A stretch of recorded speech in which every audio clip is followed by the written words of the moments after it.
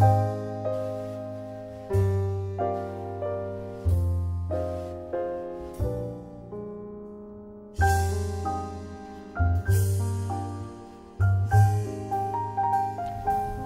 wyspach Bergamutach podobno jest kot w butach. Widziano także osła, którego mrówka niosła. Skąd znasz słowa na wyspach Bernamutach? Podobno jest kot w butach. Widziałem także osła, którego mrówka niosła. Nie znam tych słów. Jakiego sławnego gościa? Z Akademii Pana Kleksa. Chyba z bajki Kot w butach. nie znam. Z bajki Akademia Pana Kleksa. Z wiersza Jana Brzechwy. Witam Was w materiale GIM TV 2 pod krawatem.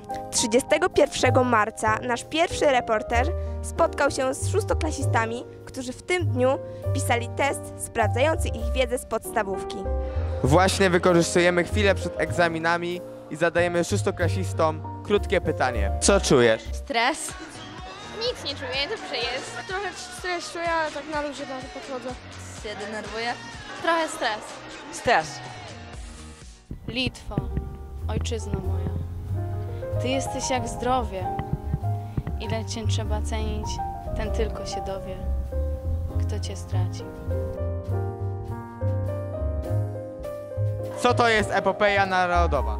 Nie wiem. Nie wiem, co to jest. Nie mam pojęcia. historia jakaś, coś e, narodowa na przykład. O, Nie wiem. Nie wiem. Książka Tadeusz, coś ważnego dla narodu, jakaś książka, nie? Drugi reporter spotkał się z gimnazjalistami, którzy właśnie przed chwilą skończyli pisać testy podsumowujące ich dotychczasową wiedzę.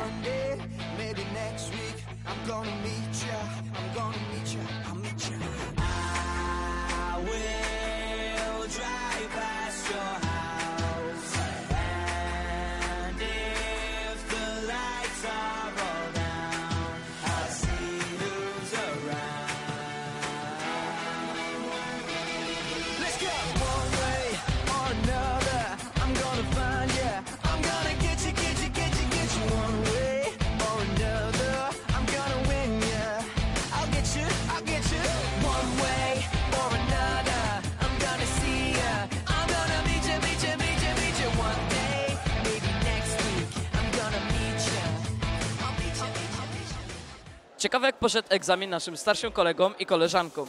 Jak ci poszło? Strasznie trudne było.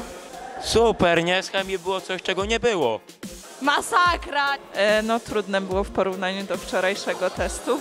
E, myślę, że dobrze. Eee, beznadziejnie chyba. Źle. No. Pytania były dosyć trudne, szczególnie z chemii. Były rzeczy, których nawet się chyba nie uczyliśmy. Egzaminy skończone. Za rok to my, GIM TV 2, zmierzymy się z testami. Trzymajcie za nas kciuki. Cześć! Cześć!